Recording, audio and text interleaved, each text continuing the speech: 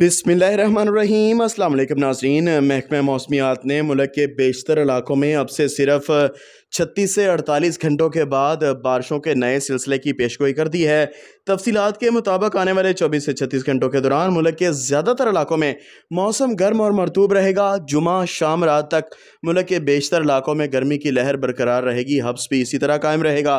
तहम कश्मीर गिलगत बल्तिस्तान, बालाई, खैबर पख्तूनखा शुमाल मशर की और बालाई, पंजाब के चंद इलाकों में इस दौरान भी सिर्फ़ कहीं कहीं बारिश के इम्कान बन सकते हैं। तहम नोट फरमा लें, सोलह सत्रह सितंबर से पच्चीस सितंबर के दौरान दो लगातार ज़बरदस्त बारिशों के सिलसिलों की वजह से कश्मीर, गिलगत बल्तिस्तान, खैबर पख्तूनखा के ज़्यादातर इलाकों, पंजाब और बलूचिस्तान के भी बहुत से इलाकों में गरज चमक के साथ बारिश का इम्कान।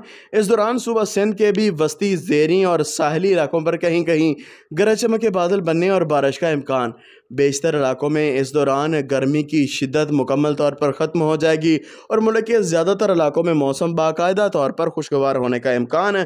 गर्मी की शदीद लहर के दिन भी गिने जा चुके। सिर्फ़ चौबीस से अड़तालीस घंटों के बाद मुल्क के बारही इलाकों में मौसम खुशगवार होना शुरू हो जाएगा, जबकि मुल्क के दीगर इलाकों में जुमा और बाज़ इलाकों में हफ़्ता शाम रात से मौसम खुशगवार होने का इम्कान। बारिशों के लंबे चौड़े सिलसिले मुल्क के बालाई, वस्ती और जनूबी इलाकों में वक्फे वक्फे से छब्बीस सितंबर तक जारी रहेंगे।